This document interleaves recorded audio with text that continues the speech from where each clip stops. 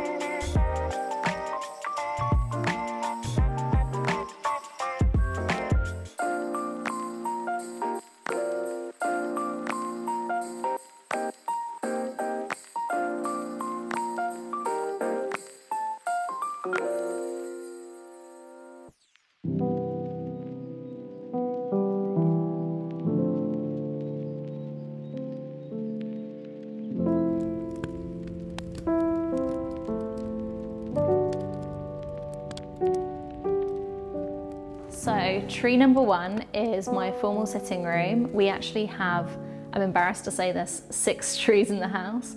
It's not just me that's obsessed with Christmas, but my daughter Ava is as well. And every year she pushes us to get more trees. So this is the first tree we decorated this year.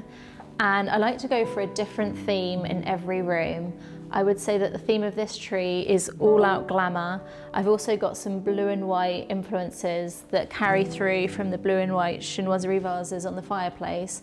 And I think it's really fun to draw influences from the room onto your tree so it all ties together. So guys, I just want to explain, I am always having stuff done at the house and right now I'm having our guttering change, which sounds really boring, but I'm actually really excited about it because it's going to look gorgeous. Um, but if you can hear some drilling noise in the background, I apologize, that's what that is. But anyway, ignore the noise and come on in. I'm going to show you a few of the details of the tree and explain some of my styling tips about how I dress the tree in my house. So first of all, all my trees are from Balsam Hill. This is not an advert for Balsam Hill. I've been buying them for years. I only buy one of their models, which is called the Nordmann Fir. And I've gone for various different sizes. I do believe this is the nine foot tall tree. When it comes to sizing your trees, you can see I've left about 20 centimeters from the top of my ceiling, which is what I would recommend. Measure your ceiling height and leave about 20 centimeters because otherwise, even if you can just squeeze it in, it's not gonna look proportionate to the room. I made that mistake. I got a 10 foot one before in my kitchen and it just jarred on my eye. Um, and the other thing that will allow that will allow you to do is then you can put a star or whatever it is that you want to put at the top of your tree. You've got a bit of space to work with. I always go for the pre-lit trees. I don't know if you're doing as many trees as I do, and we do them not only for my home, but also for clients and for photo shoots. You don't want to be messing around with loads of cables of lights. Life is too short. Get the pre-lit tree. Was there ever a point where you ever used a real tree Soph? I used a real tree once, never again. Um, we have underfloor heating and it literally like dropped all its needles on day four.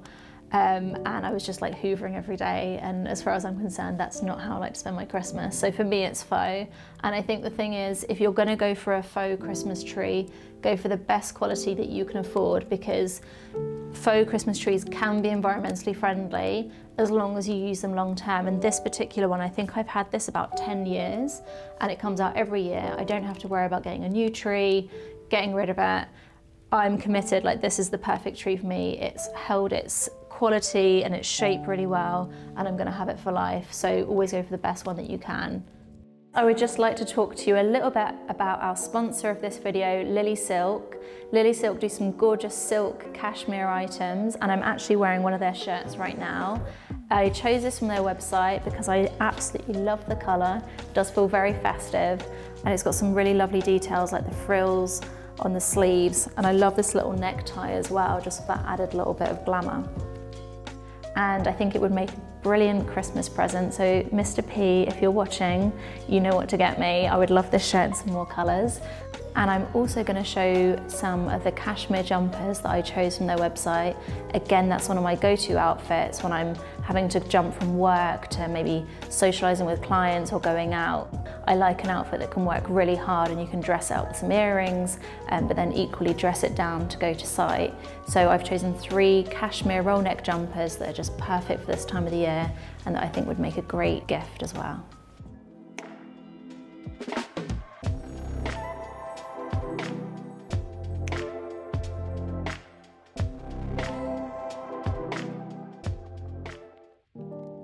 My approach to um, decorating my trees is that I like to just add every year. So some of these decorations I've had for absolutely years.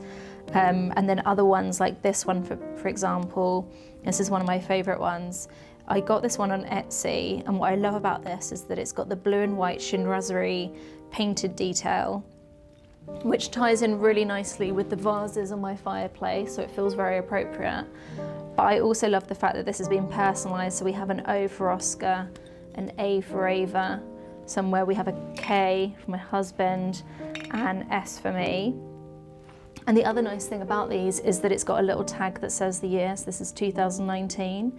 And what I love about that is that as I'm decorating the tree with my family, you can kind of look back and be like, oh, that was the year that Oscar was born. And it just triggers all these other happy memories. So I like my decorations to look nice, but I also like them to have meaning.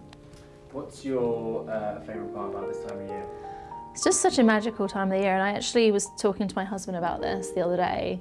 And I think Christmas can actually be quite a sad time of the year for some people. I think it puts a lot of pressure on you that you feel like you've got to make the perfect Christmas, have the perfect family, and it just makes me feel so lucky that for me, Christmas is a really happy, magical time. It's all about children, and I just love making it as magical as possible for Ava and Oscar.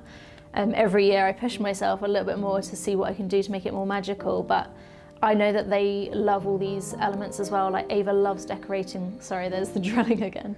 Ava loves decorating the tree. Every year we have playful arguments, me and Ava, about how to decorate the tree. Last year it was the one in my husband's study. She did not like the pheasant feathers, um, but eventually um, she came round, she saw that they were good.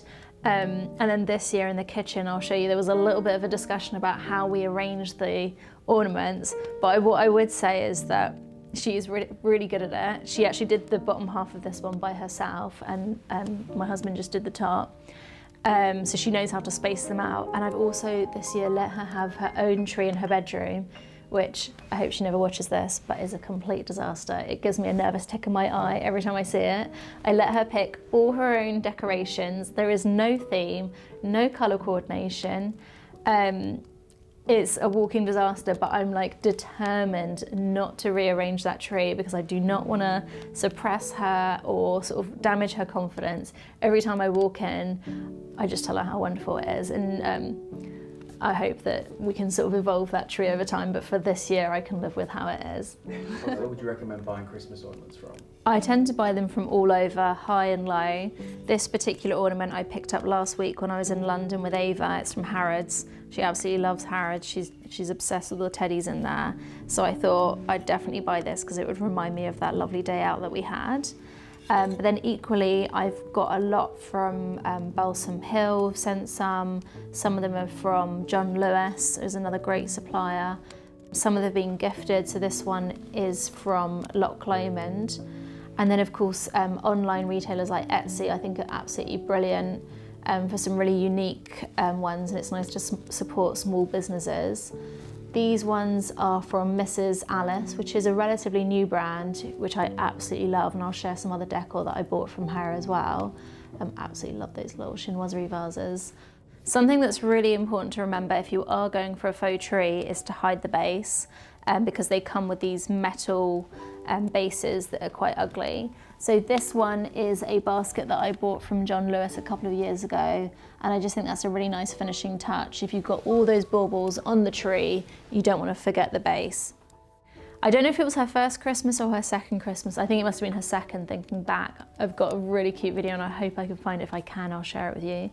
Um, she, we woke her up in the morning and obviously we told her that Father Christmas had been. We'd left some carrots out for Rudolph and I think a glass champagne for Father Christmas, which he'd enjoyed very much. And she came downstairs and she just looked at the tree and she went, yeah. And it was just the most magical moment that, like, for the first time ever, she was really sort of experiencing Christmas and seeing the magic of that. Another one of my favourite Christmas styling items is these stockings, which I do fill with chocolates and treats just before Christmas, but I wouldn't put them in at this point because I have the fire on quite a lot and they'd probably melt and make a big mess. Um, but these are some lovely linen Christmas stockings that I bought from Etsy and I'll share the link in the description box. Um, but I just think they're so cute and they can be personalised with everyone's names. I've actually got some extra ones for all the other family members that are coming this year. When you're um, wanting to hang them on your mantelpiece, you can just buy these little um, stocking holders. I think I got these on Amazon. They're quite good as well, actually. If you've got a nice handbag, you should put one in your handbag so you never have to put it on the floor. Um, but they just hook over onto this, stocking this way, and then the weight keeps them onto the mantelpiece. And then to help them keep their shape, this is not very glamorous, but I've stuffed them with toilet roll just so they're nice and puffy and they don't just sag like a pair of tights. So this is the second tree in our house. This is my husband's study, and you can see we've gone for a lot more traditional theme in here. Um, it's got this lovely red colour accent, and then lots of um, very natural elements like the feathers, and some really traditional motifs um, like the piper because he's Scottish, so again it feels relevant to him. Um, and then I've also got some playful ones like the little Christmas robin. In here we've gone for a slightly shorter tree just because he's a little bit tighter for space. So remember, as you go taller, the tree will also get wider. And the one thing I would say about the faux trees, the Nordmann firs, they're my favourite models, but they are quite a wide tree. So be aware of that because you need quite a big surface area on the floor um, to fit them in. Um, but in this room, I really just wanted to go all out traditional, make it very sort of British and Scottish. Um, you've got some of these pheasant feathers, um, which I just got, I can't even remember where I got, I think I might have got them online some little candy canes, so cute, that's from my local garden centre. Um, some little tweed birds. These ones just clip onto the branches, how cute are they? I think they might be from John Lewis, I've got a terrible memory. And then a little pheasant, um, a little feather wreath, some pheasants. What were your memories of your first Christmas with Kev? Um, one of my, the very first Christmas that I spent the day with him, when we first got together, we still used to spend Christmas with our respective families, was I went to their townhouse in Edinburgh and his mum and dad are just so good at making a beautiful home and making an amazing party atmosphere. So they'd had the whole house decorated and they actually celebrated Christmas differently to how my family did. We would open our Christmas presents on Christmas Day, whereas they would open them all on Christmas Eve, which was actually really fun because we went out for a big meal, had a few drinks, and then we all went back to the house and opened some presents. And I remember he bought me um, a belt and I was very, he says I was very easy to please back then, I'm not so sure I am now. But that year he bought me a Gucci belt and I burst into tears. I was like so touched and just, it was just such a magical um, moment being with him and his family for the first time ever. Um, so they always take the mickey out of me that I used to burst into tears over a belt, but it's a bit harder to make me cry these days. Something that I like to do that doesn't cost a lot of money is get some wired ribbon and it has to be wired so it holds its structure. And then I've done a little bow at the top and then that cascades all the way down the tree and it's just a really nice way of injecting more colour onto your tree.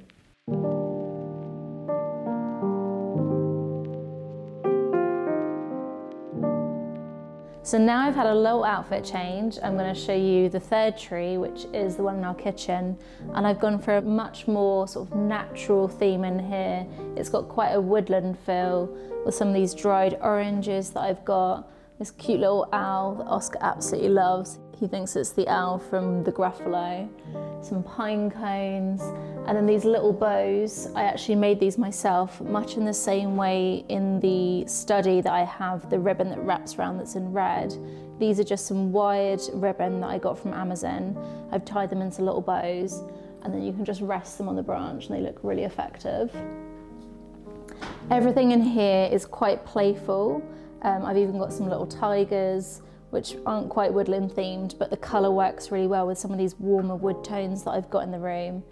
So this little area down here is where me and Ava had a disagreement, um, but as creative director, I was informed that I was just her tree assistant and was not to rearrange these um, little ornaments. These are all her favourites, the tree, um, the sheep from Bamford, this little owl that we got from the garden centre, and this cuddly reindeer, which I think is from John Lewis. Because these are her four favourites, she wants them all in a row at the bottom. And I tried to suggest perhaps we should disperse them a little bit on the tree and then I might have sneakily rearranged them just very slightly um, when she left. Um, but she clocked it straight away. As soon as she came back in the room, she was like, Mum, put them back. Some of the more sentimental ones that I've got in here, ones that we've got that have been personalised. This one says Ava's first Christmas 2016, which was the year she was born. So that's obviously really special. And then just one last decoration I want to highlight. This is from the same brand where we got the ones in the study and they're all handmade, absolutely beautiful. And I just love this one. It's um, a little fox.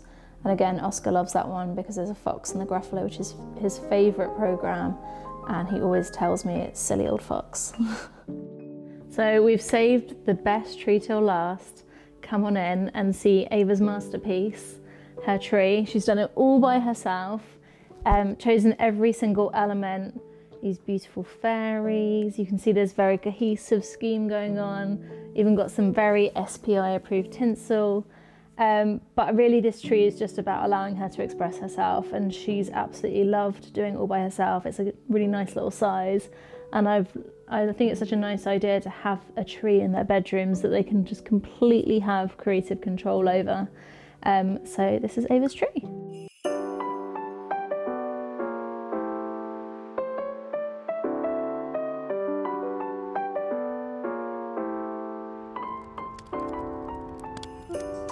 Thank you so much for joining us. I hope you've enjoyed seeing behind the scenes at our SPI Christmas party and I've absolutely loved sharing my Christmas styling tips with you. So if you're enjoying these videos, don't forget, hit that subscribe button and we'll see you in the next one.